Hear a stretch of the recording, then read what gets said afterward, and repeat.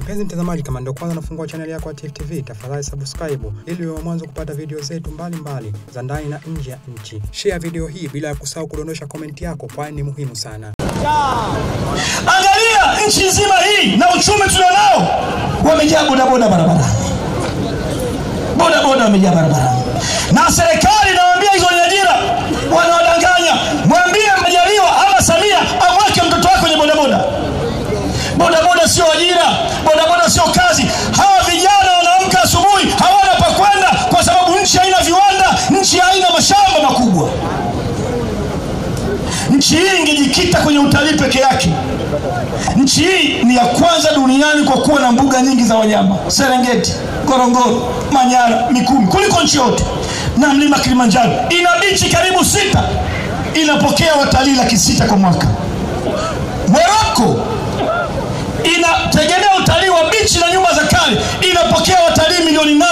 kumi na mbili.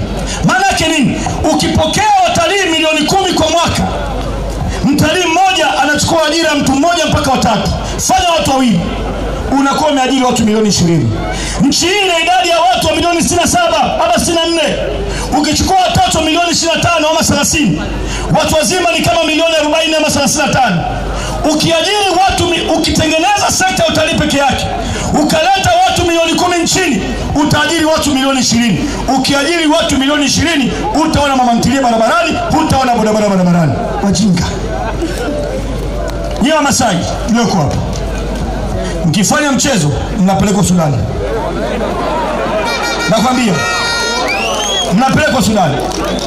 Hakuna watu, imekuwa ni kazi ngumu kuwasaidia kama Wamasai. Nyiwe mnaumizwa. Tulikuwa Ngorongoro, uliko kwenye helikopta juu, unaona nyumba zimechomwa chini, mama zenu wamehamishwa, baba zenu wamehamishwa. Tumekwenda Simanjiro kule chini, na nyie Simanjiro hapa mnaambishwa.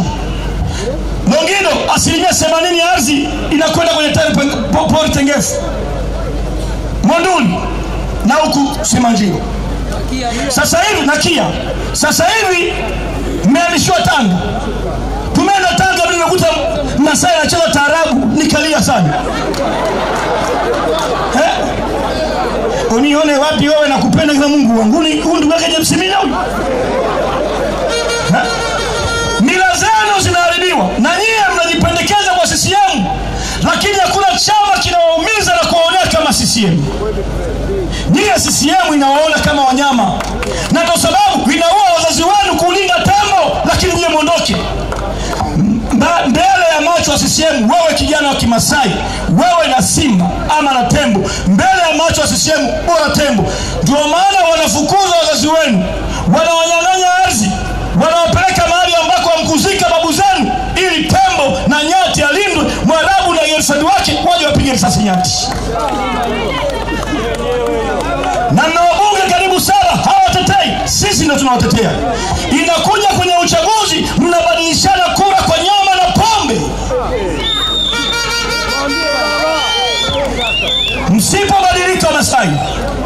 siku mnakwenda Sudani. Nakwambia, mnahamishwa sasa hivi Longido, mnahamishwa Ngorongoro, mnahamishwa kila mahali. Nyie mnatakiwa mfanye kampeni ya kuiondoa CCM. Tukitoka hapa tutakuja Sendeka, mtakaa naye pale kijijini, mwanze kula nyama choma, mno na pombe. Msiwasikilize hawa mabora, wanawaumiza, wanaharibu mila zenu.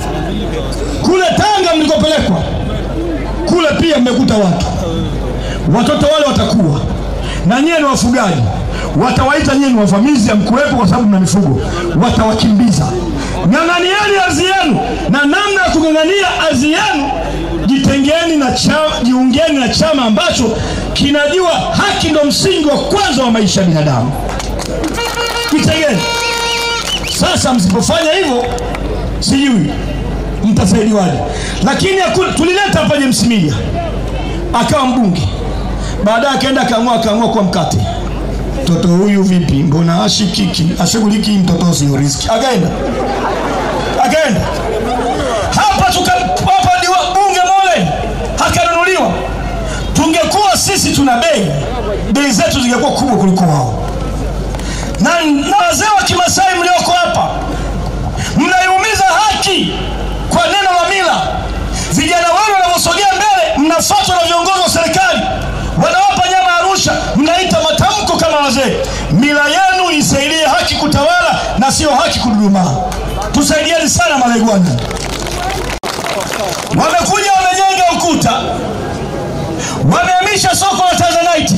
Eti mwenyekiti, ukishikwa na Tanzanite Arusha ni kesi, ukishikwa na Tanzanite hapa ni kesi. Alafu Dubai ziko barabarani, India ziko barabarani, Marekani ziko barabarani. Hawa watu maboya meni maduasi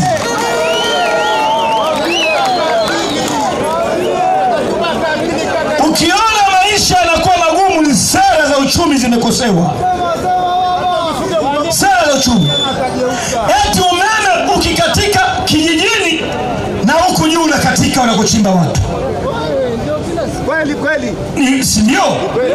Ndugu zangu, kama hapa kuna machimbo ya madini, tenganisha gridi. Sawa. Umeme unaoingia kwenye uzalishaji huwa tofauti na umeme unaokwenda kwa wananchi. Hawa wasikatie umeme, shusha bei ya luku ili watu wachimbe madini na mitaji midogo. Maduanzi hawa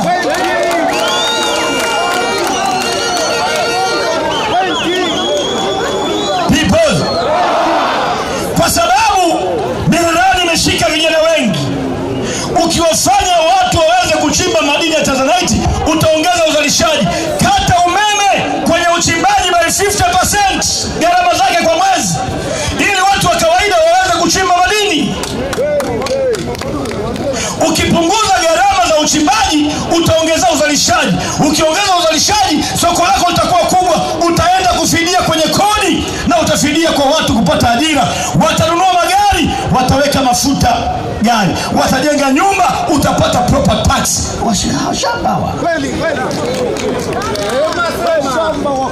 Hii miradi imekuwa kama, kama kijiji cha watu walioletwa wakimbizi.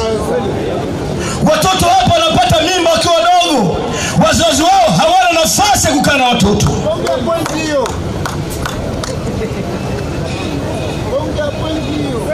Na mbunge wenu ambaye ni boya kabisa ha, hana na ndio walileta ishu ya madini yasiuzwe humu yasiuzwe Arusha. Ndugu zangu, madini yenu yangeuzwa Arusha ama Dar es Salaam, nini kingetokea? Kungekuwa na mzunguko mkubwa wa mawe, maanake fedha ingekuwa inazunguka, watu wangerudisha fedha kuchimba. Sasa leo wameminya wameminya mzunguko wa madini nchi hii ikipata viongozi wanaofikiri hapa ilitoka jiwe hapa la Laiza na mnadanganywa hapa. Ukipata jela milioni tano unaitwa bilionea, bilioni kumi una, bilioni kumi ni dola milioni tatu. Dola milioni tatu ni saa ya Whitney Houston.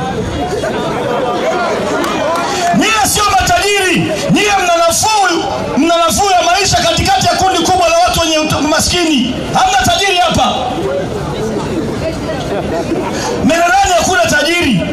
Kuna watu wananafuu katikati ya kundi kubwa la watu wenye umaskini. Bilionea Laiza kafanyaje? Kapata madini ya bilioni kumi. Bilioni kumi na tano ni dola milioni tano. Dola milioni tano ni saa ya Tyson.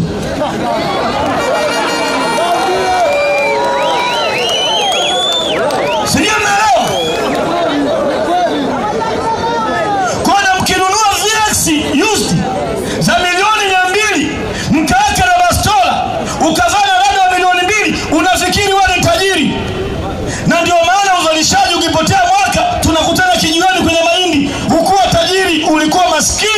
mwenye nafuu katikati ya kundi kubwa la watu maskini.